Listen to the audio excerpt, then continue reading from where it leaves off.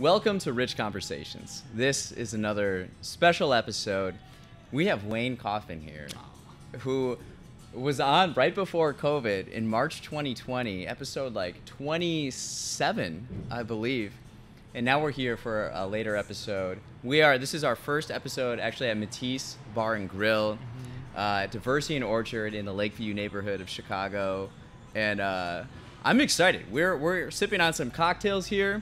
This is our first, we're going to start doing some podcast episodes here, which is really exciting. We're outside, it's December, and we're outside Yo, and it's in. Chicago, It's nice. and, and it's nice, They right? got they, they got the heaters. It's a nice night. It's it's great. This is great. Great Yeah. setting. so, great setting. uh, what, what are you drinking? um, I'm drinking one of their specialty cocktails, the the Angry Buffalo. Um, I'm loving it. I'm definitely gonna get another one of these. Yeah. hmm I have the wish you good luck. Nice. Because I noticed, so I love Mezcal, Luxardo, and green chartreuse. Yep. And then there's also pineapple in here and lime juice. And uh, you can't go wrong with those ingredients. It's so good. Yep. Cheers. just- cheers. So why don't you, uh, why don't you reintroduce yourself? Because it's been a while since you were on the podcast. But we've, we've been in touch uh, a number of times through Mhm. COVID. Yeah. So this isn't, this is just like catching up again. right. You know? Yeah. Exactly. It's cool. Um, keeping keeping you around, making sure. You know, keeping up with uh, keeping up with what you're doing, what you're Yeah, up to yeah. is fun. So I am I definitely see you a lot. Um, but introduction. Uh, my my name's Wayne Cauthen. Um, a lot of guys or a lot of people know me as my guy. Um, that's like my nickname, uh, stage name. Uh, I do a lot of performative breaking, so I carry a, a, a nickname with me all the time, performative name. So a lot of people know me as my guy, but uh, my name's Wayne Cauthen. I'm a co-founder of a Styling Out Network, and um, I've been an entertainer, performer, um, competitor, and uh, entertainment consultant for like 15, 17 years now. Yeah, it's uh, you got a lot going on. I, I try to stay I try to stay busy busy enough to keep to keep me happy about life you know I feel like I've, I've never actually seen you breakdance though. no The, the next episode, we gotta have you like breakdance. I think so. is that real No, I've seen no, I've seen clips of you on your YouTube. but never your, uh, live yeah, that's we gotta get yeah we gotta get you we gotta get you to I know. out I gotta get we out We gotta get you to come out we gotta get you to come out that's surprising yeah. Uh, yeah. So we're here. We're uh, outside in the December weather. know it's We beautiful got some uh, some nice fire here. Some what do you call this? Like a lamp?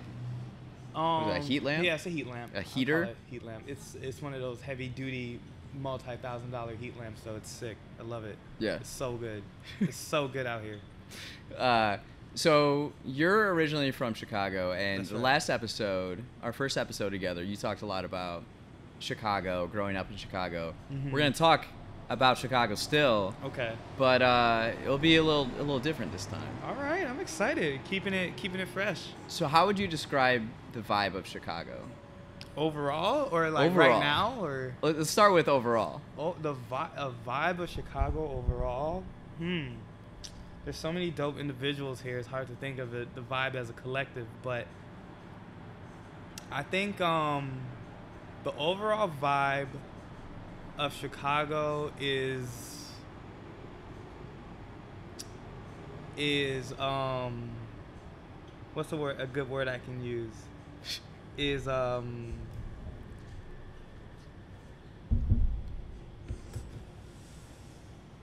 I want to say I want to say tenacious. Tenacious. Yeah. You were you were uh, searching a while for that word. I, I was. There was a few. there, there was a few. I couldn't choose one. That's that's what it was. But um, I'm gonna say tenacious because there's just like this, this don't give up passion, passion that's just like on fire in the city right now. Everyone is, everyone who's passionate about something is Yeah. going for it, you know. And I just feel like, you know, especially in the last two years, you know, ev we all just have like this, you know, there there is something to live for attitude, Okay. and everyone's going for it, and I'm I'm inspired by it. It makes me not want to it makes me not want to slack or, or skip a beat. You know. So what what was your? Because we did this. We recorded. We recorded at Golden Nugget. Oh, I love Golden Nugget. to this day.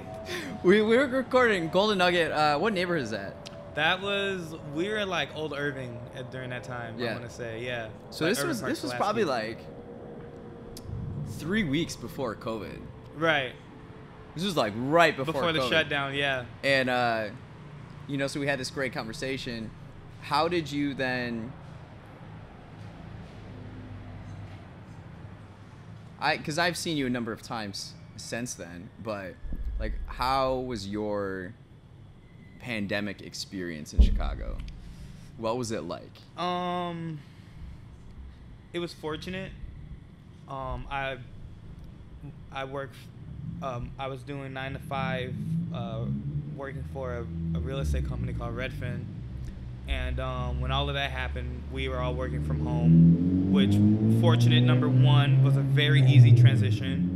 Uh, we were already like hybrid working from home before the pandemic. It was like a perk of the job. Um, so the transition to work from home was seamless. So that was Okay. fortunate number one. When the pandemic got deep, a lot of people nationwide got laid off, furloughed, fired, and uh, like 40% of our staff did too. And I was not one of those people, which means I had to pick up a lot of work. But I was also fortunate, number two, to not lose my job and have income and be able to work from home while quarantining. Um, and then number three is I, you know, I bunkered down and I, I, I worked really hard at uh, at my company styling out, organizing documents, uh, keeping relationships fresh, pivoting, making sure that we could stay relevant during quarantine, um, training, making sure to keep my skills sharp, work uh, working on fitness, giving a place for all of styling out talent to, to be able to practice and keep their sh- uh, skills sharp. Um, so I really just I bunkered down and I, I grinded the entire 2020. Like no no vacation, no rest. It sounds I- similar to my, my it. experience. I'm still doing it, but I really did it. I was Yeah. yeah, full steam ahead 2020. Elaborate on this roster. You have a lot of talented people on your uh, roster. the roster. Um, I man, I love these guys so much, dude. I really do. Um, Jillian X, uh, Quicktastic, Virgil Seven, and Jackercise, which is a duo that comprises of uh, Jerome Gilbert and Mike Palmieri. They each have their own individual flavor, and then they meet in some weird, oddly shaped Venn diagram, and they share a few, you know, uh, a few tastes and a few tricks, but um, they're really, they're, they're, they really have a wide variety when you look at them all on the spectrum.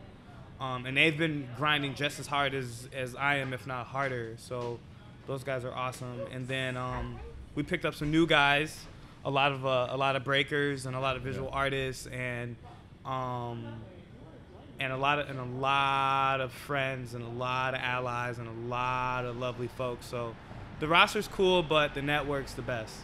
You know. yeah. Wayne knows a lot of talented people. Including myself. Yes. that, that- that's that was e- that was an easy one to, to, to point at right there. So what do you what do you notice or what stands out to you about Chicago right now? Um, there's a weird energy in the air, you know, like we. I mean, I'm, I'm pretty sure it probably feels this way everywhere, but you know, being here at home, I think there's a weird energy in the air. There's this constant feeling of where are we going, what's gonna happen next. Okay. and it's a mix of optimism and skepticism. And you know everyone is trying to feel what they feel without feeling guilty or you know beat down by it.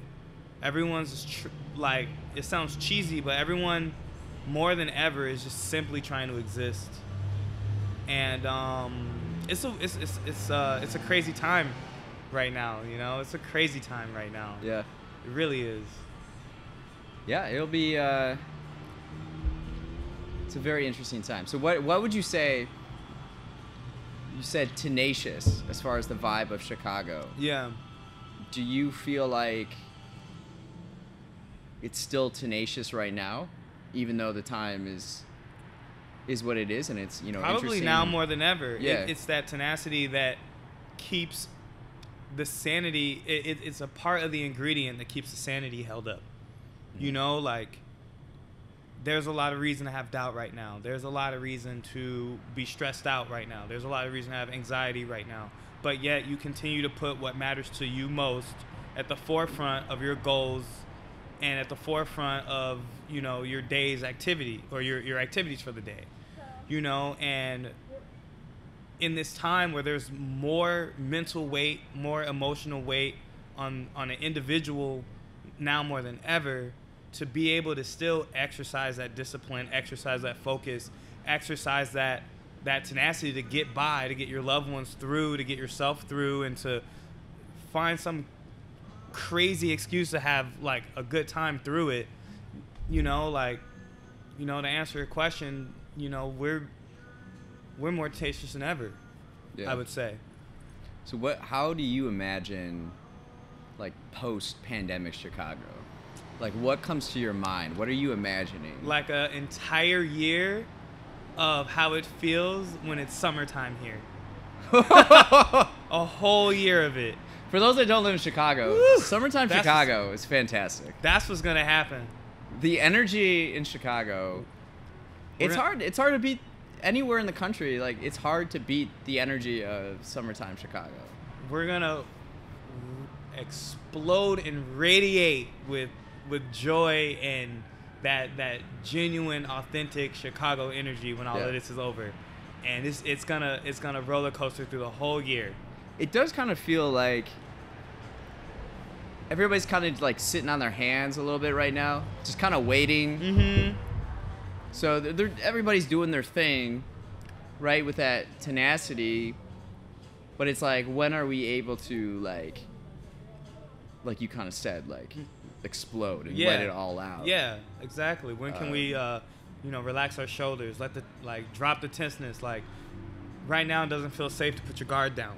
You know, Yeah. everyone's guard is is up. So, like, what's the confirmation where we're all like, wow.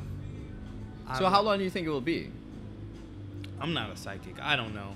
I'm not a scientist. It's probably better to like not uh, put I'm not a put psychic. dates or I'm not a times. or- scientist. I'm not a data expert. yeah. You know, I'm a self-proclaimed like anthropological enthusiast, but I'm not. I'm I'm no professional at that stuff, dude. Do you think? Um, I don't know how long does it take. I don't know if I feel it will go back to the way things were. It can't. I don't think it ever will be. It can. I don't even remember what it was like. Do you have this weird thing where like time? I, I can't tell I if time is like what is time. I guess first of all, but like I can't tell if it's been a long time has passed or like a short time. Like I mean, I- since March 2020, I can't tell if it feels like five years ago or like five minutes ago. Right. I mean, we're still in it. You know, a lot and Yeah. nothing has changed since that time. So, Yeah. you know, it's one of those things where, like, you're standing in the middle of a situation, and it's always easier to think what we could have done, should have done in hindsight. Yeah, Looking hindsight- back- hindsight's easy. Looking back is easy to see what you should have done, and we can almost see what we should have done, but at the same time, there's so much ahead of us that it's impossible to foresight what's going to happen. So we're standing in this middle to where this middle point where hinds- hindsight isn't even 2020 yet. Not at all. You know, we're Yeah. still in it. yeah. And the only thing you can do right now is just like stay focused. and kind of like sit on your hands. You know, and but not sit on your hands at the same you know, time. do do what you have the power to to control and activate, and everything else is not your control. Now is not the time to like dwell on that or hold on to that. You know, Yeah. because we can't we can't do nothing with it. it's a great message, but also too like let's just move on to a different topic because nothing ever gets resolved with these like conversations Nah. about, hey, what do you think about when will this happen? Or like, Right. it's just kind of like, yo, let's just be in the moment. Let's just do what we can. So my question uh, to you, we just talked about summer in Chicago and how awesome it is. But what do you, Wayne, love most about winter? You have lived here your entire life. What do you love most about Chicago winter? that we have one, that we have winter. People don't have it. People see snow for the first time as adults. You Yeah. know, people don't know what it means to go through all four seasons. Yeah. I think there's some sort of like psychological callous that comes with that, and I find it to be advantageous to our to our psyche a little bit. yeah. Um, we get to witness Earth in its glory by Yeah. experiencing all four seasons. You know, like based on how perfectly we are placed from the sun in the solar system, no other planet has a perfect balance of four seasons Yeah. like that, and it's really a a, a an, an amazing you know ex- thing to witness that all the time. Yeah. you know it's it it's crazy. You know earth is the only planet that does that. So and we we sit right here in the middle of it and we experience all of it. So i think that that i think that that does a lot for our subconscious dexterity How do you think it's easier to keep track of time and your life with the seasons? before time how did people keep track Yeah. You know, agriculturers didn't have watches and clocks, and Sumerians made up the concept of 60. But before that, people were growing, living, thriving. Civ- you know, civilizations uh, existed, whether they were on record or not. You know, so that's how people seen time. At least people who had the advantage, or the, or they lived in a region where they could tell time that way. Other people who have more, you know, consistent environments they who, knows how they told time but you can't use the seasons as as a gauge Something I'm curious about is like like how do people in LA live in LA?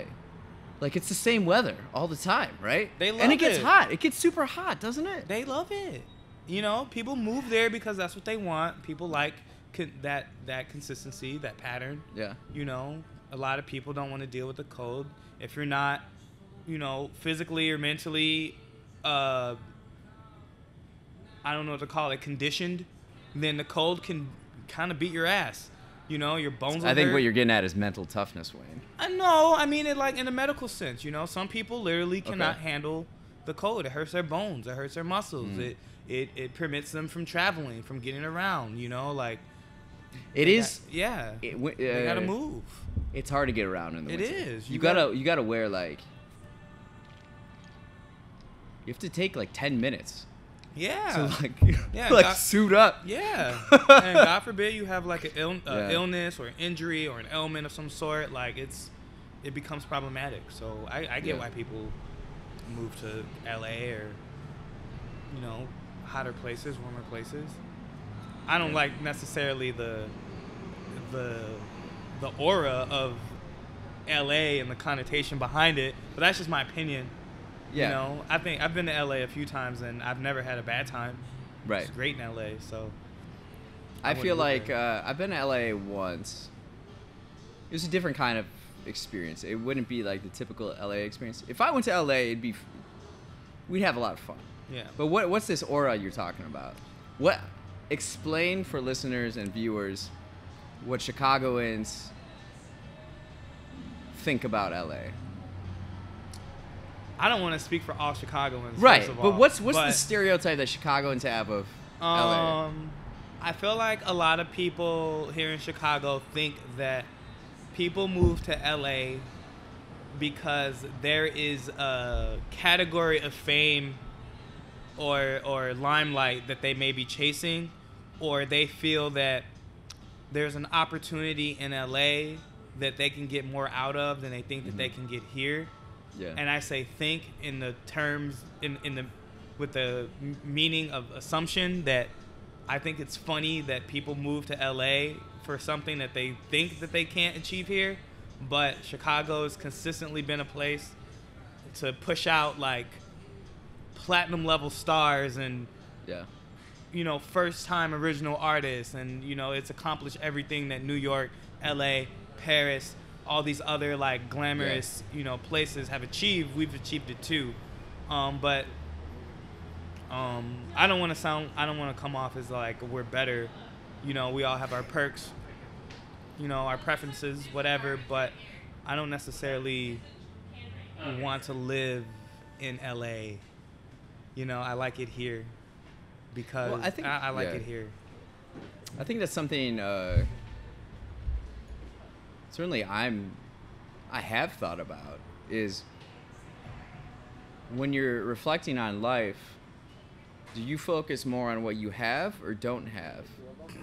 And if you focus on what you have, you can if you're living in Chicago and you run down all the things that you have, you got a lot here. Yeah, yeah. So it's like what what do you feel that you're missing that you need to go somewhere else or chase something else or thinking your happiness is going to be somewhere else or with someone else it's like taking the time to reflect on, on what you're grateful for and the assets that you you're, you do have or you're starting with and go from there and i've done that calculation for the last like I've lived here for like 12, 13 years.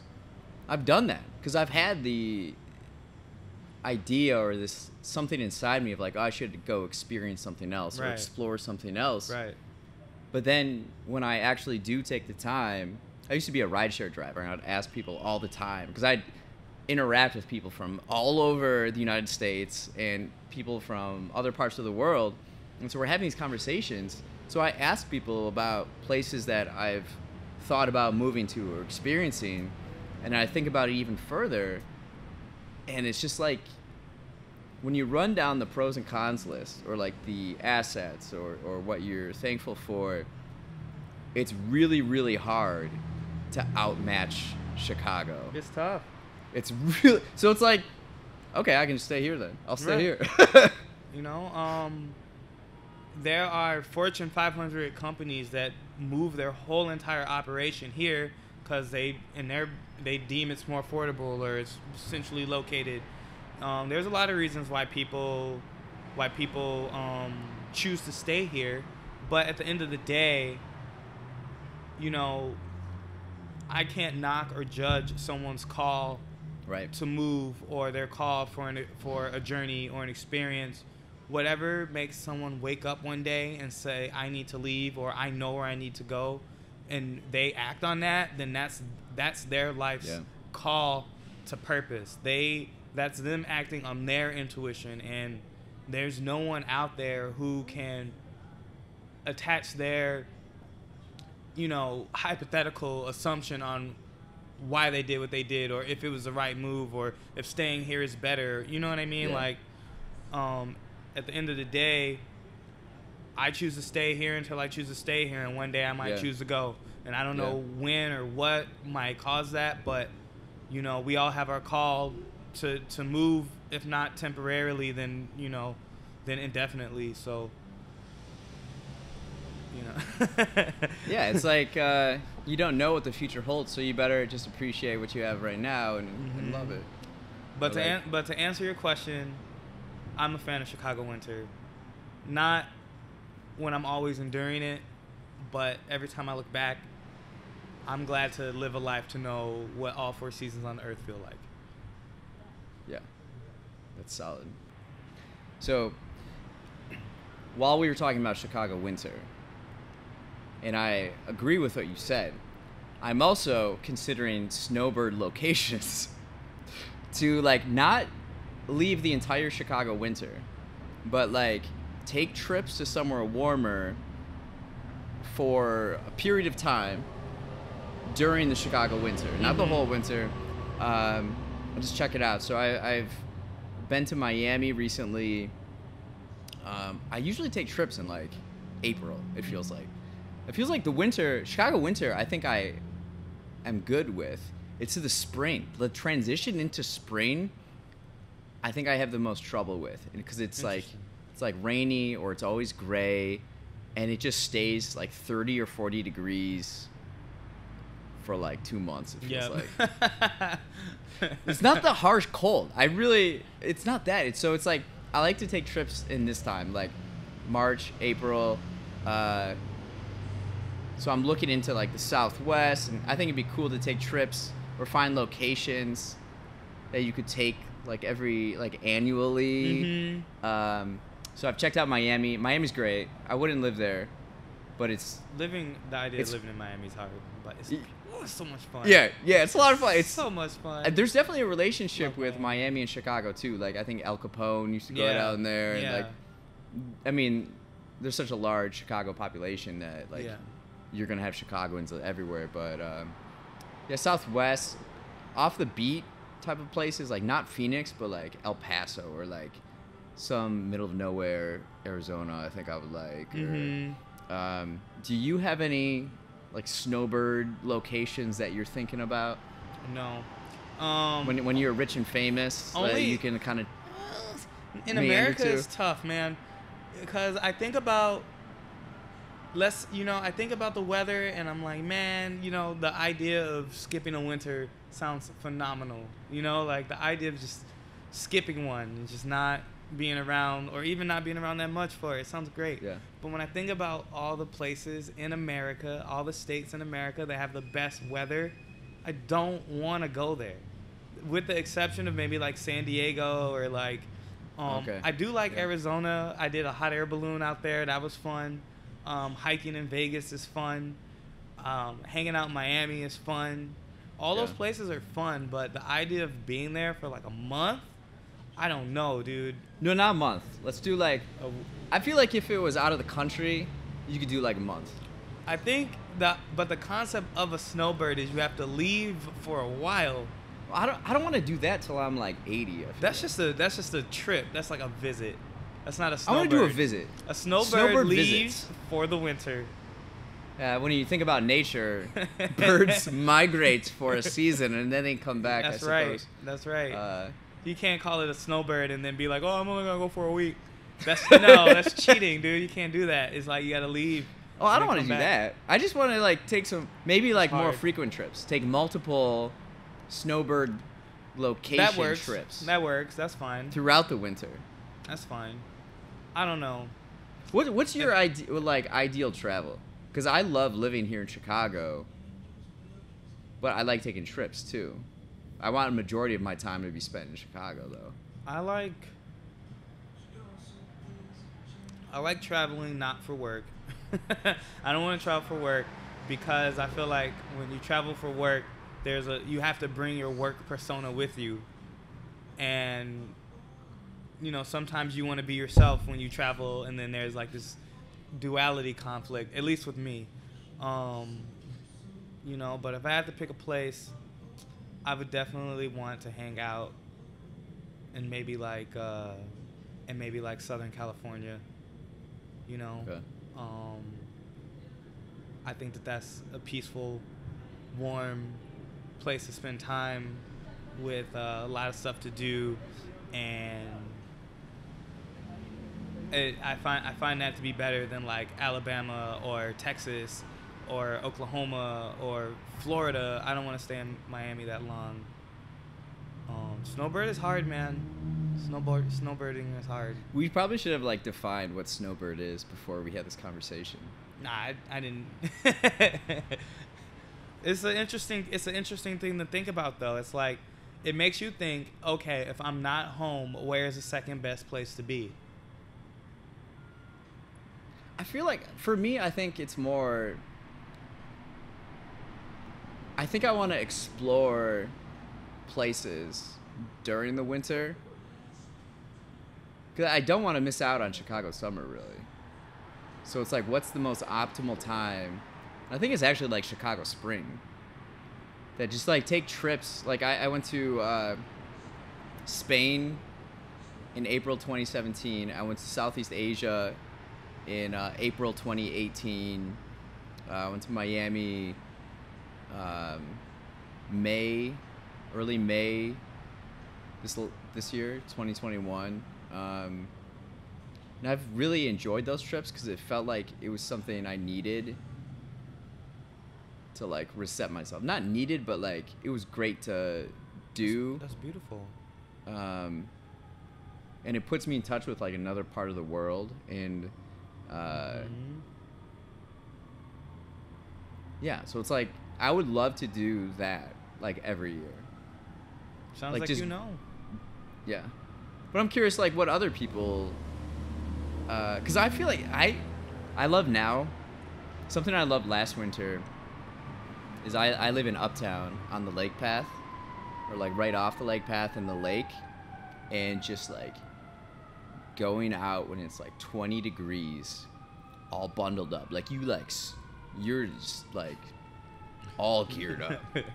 And you go to the lake and in a city of like 3 million people i'm the only one there. Mhm. or i'll walk on the lake path and it is just me. Yep. and i like relish like in those moments of solitude.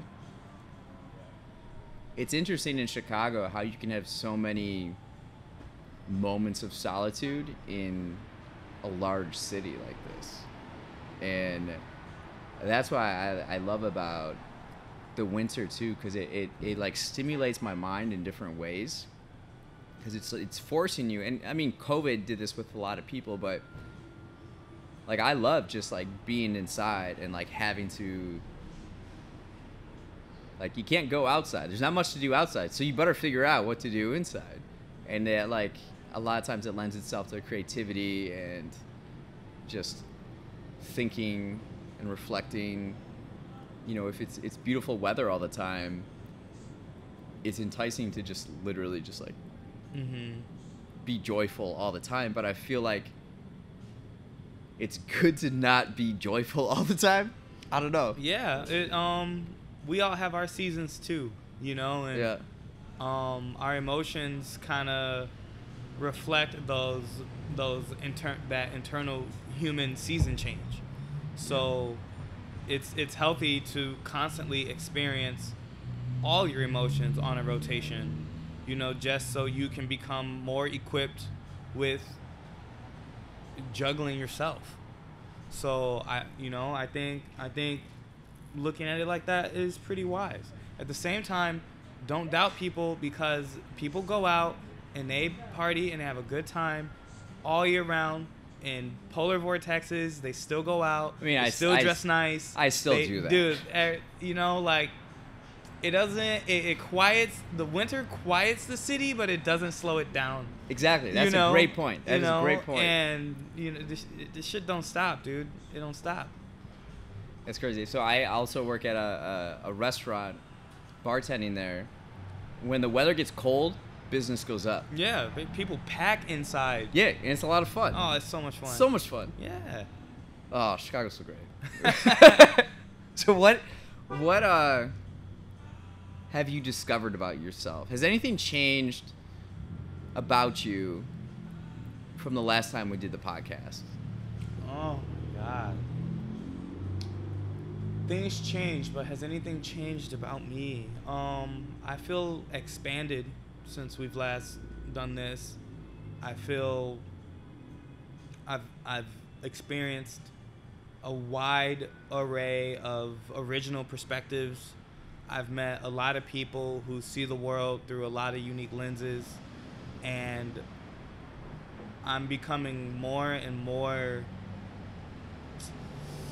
moldable to resonating with people's unique perspectives. Um, I feel a little bit more mature. I feel um, the adult side of my life starting to take over a little bit more. And just like the small things that I like, Yeah. um, stuff that I probably didn't care too much about a year ago, two years ago. Um,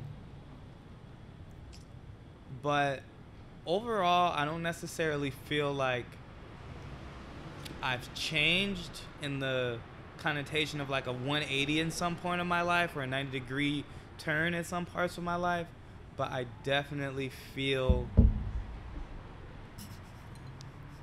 I definitely feel if like if my life was a book, from the last time you seen me, the bookmark would be closer to the end. Like it would be further into the book, you know. And a lot has happened within those pages that I can't really summarize, but like I feel like from an outside view, in the same uh, analogy of like this book or this story, like my my character's development has become a lot more interesting, and I feel like people are a lot more dialed into the story now.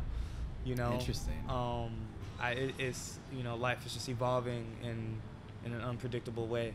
Yeah, I um, I feel like Wayne and I have like similar personalities or perspectives on life, and I I also kind of view my life in a book in a way, and there Mhm. there are like in my mind clear distinctions on like chapter beginnings and endings, Mhm. and right when COVID like started, I knew okay. That chapter now is done. Mhm. We're entering a new chapter Mhm. and now it kind of feels like this first COVID chapter is kind of ending a bit, Yeah. and so much character-wise has happened. Yeah. Yeah. It's, been- crazy. It's like a short amount of time when you think about the whole book. Yeah. But so much happens in this one particular chapter. That's right. Of this book. That's a great way to say it. Yes. Yeah. Yes. That's a great way to say it. I feel that way. yeah. I really do. So then, what? What are like three musical artists that are in your heavy rotation right now? I feel like music is something so personal to people. You can really gauge a person by the music they listen to because it's such an intimate experience. So, what are three artists right now in your heavy rotation? Now you got me thinking if there's some sort of direct correlation between the expanse my character development has experienced and the music that is in heavy rotation. But I'm I mean, not gonna we're unpackage choosing. that right now. I feel like music, the music you select to listen to, Mm, you're saying to yourself, I'm allowing this music to influence me as a Mm, person. Like, that's how deep music is to our human experience, I think. So it's like, I'm curious what other okay. artists um, people are listening to. Now that I'm, I'm gonna get my I'm gonna get my weird answer out of the way. I've begun listening to tons of like meditation and frequency sounds, sound music, Okay. sound bowls, you know, like you know, weird weird like meditation chants and stuff like that. Yeah. Um, I spend a lot of my time listening to that because I feel like during this quarantine chapter, solitude is at an all-time high, and that's a Yeah. place where I, I, I really do thrive, you know. Um, but there is a um, there's a weight that comes in the environment of thriving. Is that you know like like a plant will grow all of its leaves in the spring, but then when the winter comes, it can't sustain all of that growth, and it has to shed, you know, and it has to shed leaves to a point where it can sustain growth. And I felt like I went through like a painful shedding after all of that soaking in. All that growth. You know what I mean? And those growing pains cause crazy mental soreness, crazy emotional soreness, you know, crazy spiritual soreness. And a lot of those meditation and frequency sounds, um, specifically aimed towards like the pineal gland, I felt like helped me tap into a deeper part of myself that brought me a new level of peace that I've never experienced to this point in my life. So that's not necessarily a musical artist, but it's it's something music sound wise that I've picked up in the past, you know, What, what, do you, what do you use? Spotify or Apple? I'm, I'm a big YouTube Premium person. oh, YouTube Premium. yeah, YouTube I know a few Premium. YouTube Premium. I'm a big. YouTube Premium person. I do. Um, um, my lady has Spotify, so I don't necessarily need to pay for that. And then I'm a, I'm huge on videos. I'm huge on videos. Um, a- and I can find a lot of music through YouTube, but you know, with me growing up as a, or with me spending the the past 50% of my life as a dancer, performer, and then me running an entertainment collective, I get so much music cycled through me all the time. I don't really find myself searching or digging Yeah. for it anymore, and I spend a lot of time on YouTube, you know, like music history almost, or tutorial videos, or uh, watching entertainment stuff. So I'm big on YouTube Premium. Um, Nice. um, sorry, I'm I'm I'm digressing. Musical artists. Um, Okay, so we got that. What are what are like two musical artists in particular? Um, I really like FKJ, uh, Okay. French Kiwi Juice. I know it's a silly name. At least in America, we think that's a silly name. But this dude is talented as fuck. He's like a one-man instrument army, Okay. and he he composes music on the spot, and you just dance to it. I seen him live, most amazing dude. He's a killer. FK, he's he did that song to French Dow kiwi Juice. juice. He did that song with um, with Masego Tadow, super popular. Um, But FKJ, is, uh, watch his. Uh, speaking of YouTube, watch FKJ, um, his Cercle, uh, musical set. C E R. Uh, I want to uh, C E R C L E Cercle. Okay. Watch you know FKJ musical set. It's beautiful. It takes place in Bolivia. He's in the water. nice. The sun's setting. He just kills it. He's a gen- He's a musical genius. Um, and then a, a third musical artist um, that I have been listening to a lot is actually a super old throwback. Okay. Is a, um, a, a, a vocalist. She did a lot of vocal songs and, and uh, a lot of vocal uh, tracks in, in, the- in the house music category. Her name's Joi Cardwell okay. any house song that has her vocal on it is gonna be a, a banger. Joi Cardwell. J J O I, Joi. Okay. Yeah. She she, uh, she'll wake. She's like a she's like a gong to the soul when you hear. her. you know? It's a great, great analogy. Great metaphor. um, but those those have been like to summarize my musical artists. I'd say Okay. that was a long answer. I'm sorry. No, it's beautiful. So we're we're wrapping up here. I have two questions left for you. Okay. What's something you're curious about recently? I'm always curious. I have like an insatiable appetite for knowledge. Um, something I'm curious about as of late.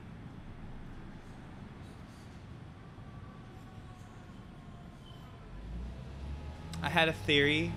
It's like one of those uh, my I call them high moments where you're just like I'm like smoking weed at home, and I'm like high of my mind, but my brain's like you know racing into like imagination mode. and I had this theory that stuck to me that I really wish I could explore. I want to talk to like a uh, what's his name Neil deGrasse Tyson or something Okay, and like figure it out.